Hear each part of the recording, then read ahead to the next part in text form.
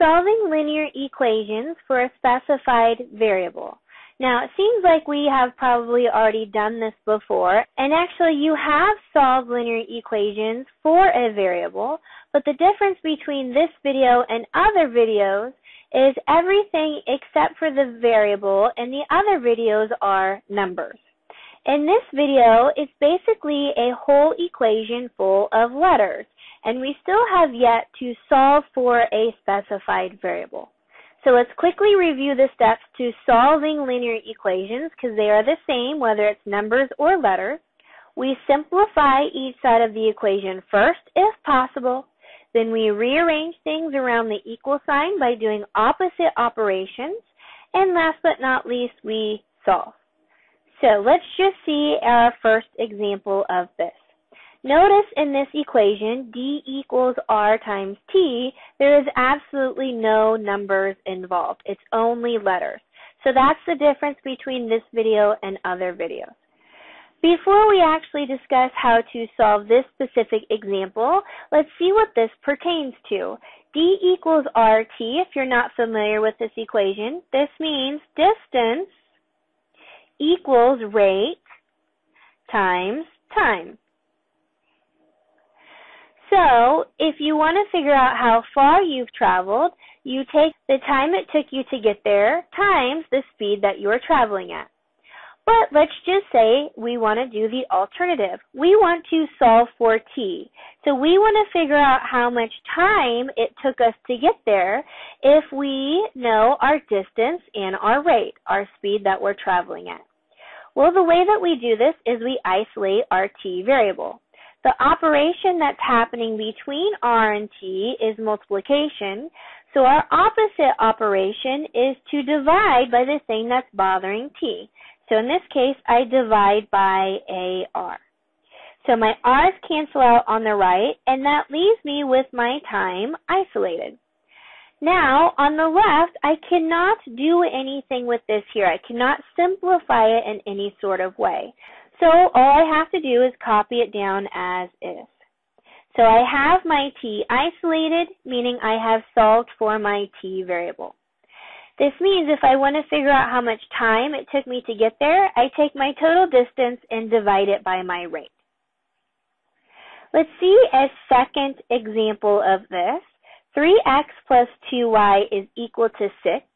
We have yet to see an equation like this, but we will be seeing many equations like this very soon. So you're just going to have to trust me as to what this equation stands for. In this one, we want to solve for y, which we will be doing quite often.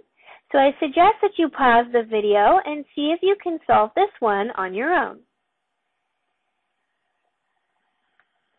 Okay, so I want to isolate my y variable. So the first thing I need to do is to get rid of this 3x. I add and subtract before I multiply and divide. That gives me 2y is equal to, now I can write this as 6 minus 3x, or I can write it as a negative 3x plus 6. It does not matter. To get my y completely isolated, I divide by 2, and that gives me y is equal to, I can leave it as one big expression like this, or I can actually separate it out. Since I only have one denominator, I can put each of those terms over that denominator separately. The advantage to doing that then is then I can simplify some of this here. 6 divided by 2 gives me 3, and then I can write this as minus 3x over 2, or I can even manipulate it and write it as negative 3 halves times x. So you can put this in as your final answer, and that's perfectly acceptable. Or if you went farther and you put this in as your answer, that is also perfectly acceptable. So we have completely isolated for y, and that gives us great practice for this when we see it later on. A little bit more complicated example here. A equals 1 half H times a capital B plus a lowercase b. And what this equation stands for is the area of a trapezoid. So my capital B can stand for my long base, or my base 2 in this picture, and my lowercase b stands for the length of my short base, or base 1 in this picture. So if I want to figure out my total area, and I know my base length and how high my trapezoid is, then that tells me the total area here. But let's just say in this problem, I actually know my total area and my height and the length of my long side, but I do not know the length of my short side. So, in that instance, I want to solve for what B is. There's a couple of different ways I can go about this problem by isolating my B, and let me mention all of them, although I probably won't work through all of them. The first thing that I can do is I can take this 1 half h and I can distribute it through. And that's perfectly fine. Eventually you'll have to do work to get your b isolated, but that's a great first step. Another thing that I can do with that 1 half h is I could try and eliminate it from the right hand side and move it over to the left hand side. And I can either take two steps to do it by first getting rid of the 1 half by multiplying by the reciprocal, and then second by getting rid of the h, or I can get rid of it all by one step. So to get rid of my 1 half, I multiply by the reciprocal of 2, because 2 over 2 cancels out. And to get rid of my h, I divide by it. So I would divide by h. Or, the condensed version is I can multiply both sides of my equation by 2 over h. So if I do it on the right hand side, I have to do it on the left hand side. Again, on the right hand side, 2 divided by 2 cancels out, and h divided by h cancels out, leaving me with capital B plus lowercase b. On the left, I can make this a multiply fractions where I multiply straight across. On the top, 2 times a, or 2a, over h. Now, to isolate my little b, it should be really easy. I just subtract over my capital B from both sides. So, my little base is equal to 2 times my area divided by my height, subtracting the length of my long base. And I have my short side or my short base isolated, so I have done what I set out to do in this problem. I have one more example of this type of equation.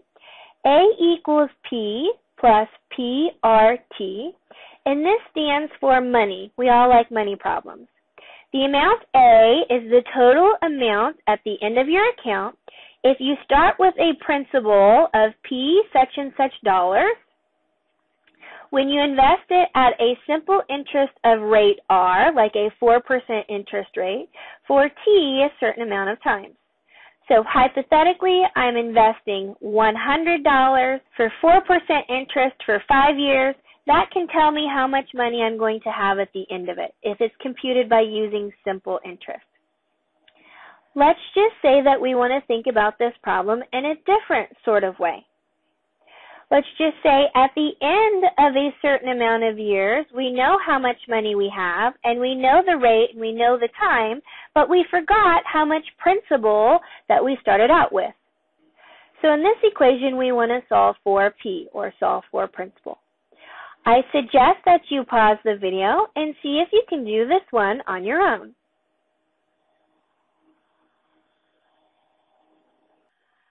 The first step is the trickiest on this problem, and once you figure that out, then the rest of it should be pretty easy. And it all goes back to using your best friend in math, which is not your calculator, it's actually factoring. We want to factor a p out on the right-hand side of this equation. So if I do that, I'm left with 1 plus my rate times my time. Now, I've switched both p's down into one variable, which will make it possible to solve for this one variable. So if you did it on your own and you got P on both sides of the equation, then you actually did not solve that equation. You need P isolated by itself with no other variables of the same on the other side. Okay, so to completely isolate my variable then, I need to do my opposite operation. This is multiplication, so to get rid of everything else, I divide by it. If I do it on one hand side, I have to do it on the other. That gives me P isolated, where my amount is divided by 1 plus my rate times my time. And so that will tell me how much principal I started out in this account in the first place. And so I've walked you through quite a few examples of how to solve linear equations when we basically only have letters involved.